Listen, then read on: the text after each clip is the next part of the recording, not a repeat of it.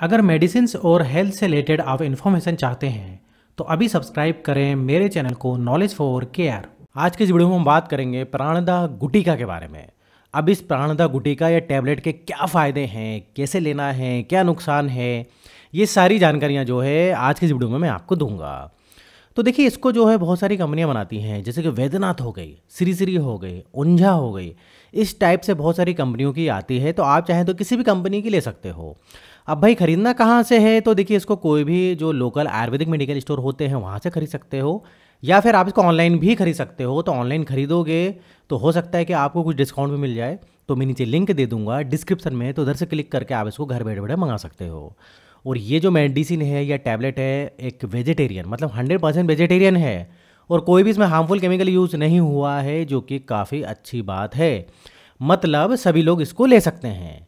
अब बात करें इंग्रेडिएंट के बारे में, इसमें क्या क्या है तो देखिए इसमें है त्रिकटु, छाव्या, तलीसा पात्र, चतुर्जाड, ईला, पिपला मूल, त्वाग, गुड़, इस प्रकार से इंग्रेडिएंट होते हैं तो थोड़े बहुत इंग्रेडिएंट ऊपर नीचे हो सकते हैं कंपनियों के अनुसार। अब बात कर लेते हैं इसके फ़ायदे के बारे में, इस प्राणदा गुटिका के क्या फ़ायदे हैं। तो देखिए, ये मेनली बनाई गई है बबासीर के लिए, पाइल्स के लिए, अगर आपको पाइल्स है, बबासीर है, अब पाइल्स जो होता है, बबासीर जो होता है, किसी भी प्रकार का हो, चाहे वो खूनी बबासीर हो, या फिर सूखा बबासीर हो तो इन सभी में आप इसको ले सकते हो।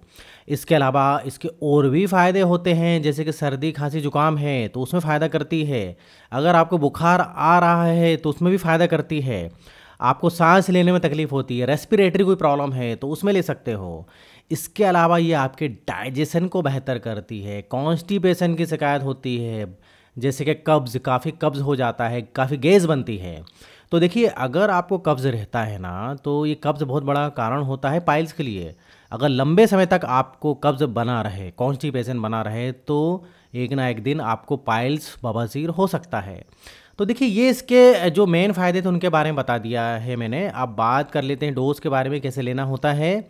तो एक से दो टैबलेट आपको एक बार में लेना है, जैसे कि दो टैबलेट सुबह, दो टैबलेट शाम को, लेकिन बहुत ज़्यादा प्रॉब्लम नहीं है। तो एक टैबलेट सुबह ले सकते हो, एक टैबलेट शाम को ले सकते हो। अब इसको कुछ भी खाने के पहले, खाने के बाद कभी भी ले सकते हो, लेकिन थोड़ा सा आधे घंटे का डिफरेंस गैप या रखिएगा। अब इसको जो है आप शहद के साथ ले सकते हैं या फिर हल्के गुनगुने पानी के साथ भी ले सकते हैं। अब इसको मेल फीमेल कोई भी ले सकते हैं, लेकिन बच्चों के लिए नहीं है और प्रेगनेंसी में भी लेना है तो डॉक्टर की सलाह से। अब देखिए, कब तक लेना होता है इसको तो ये तो डिपेंड करेगा आपकी बीमारी पर प्रॉब्लम पर। आप इसको एक से दो महीने तक लेकर देख सकते हो बेस्ट रिज़ल्ट के लिए। बाकी आप अधिक जानकारी के लिए जो है डॉक्टर से सलाह कर सकते हो।